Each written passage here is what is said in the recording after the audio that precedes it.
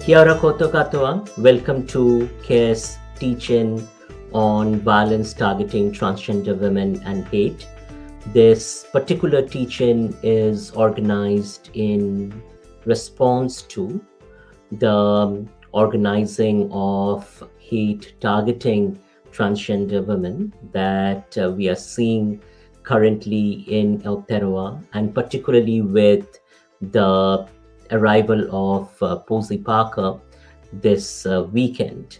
Alongside white supremacist discourse, then we uh, see discourses um, uh, articulated by trans exclusionary radical feminists who um, will put forth the argument, and this is a key argument in the process of othering.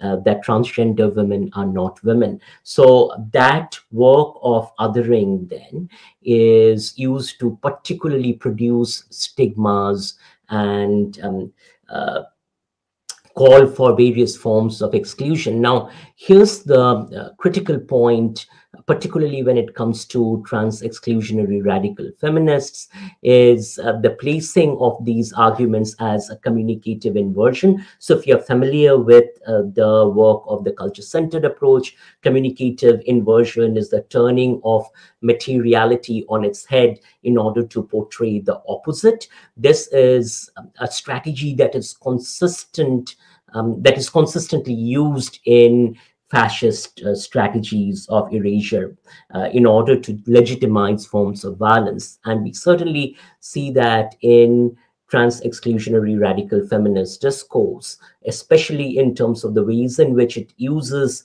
the language of radical feminism, the language of um, women's rights to fundamentally attack the human rights of transgender women and uh, to then legitimize these attacks by uh, noting that transgender women are not really women. And that becomes then the connecting point uh, that uh, feeds into far right white supremacist discourse. So, one of the things that we have seen happen uh, within the context of Posie Parker's um, visit to Australia is the very explicit interplay between Nazis and um, trans exclusionary radical feminists. Now, this interplay um, in Australia is materialized with um, this particular visit, uh, but it is integral to the discursive infrastructure, particularly in terms of um, the ways in which um,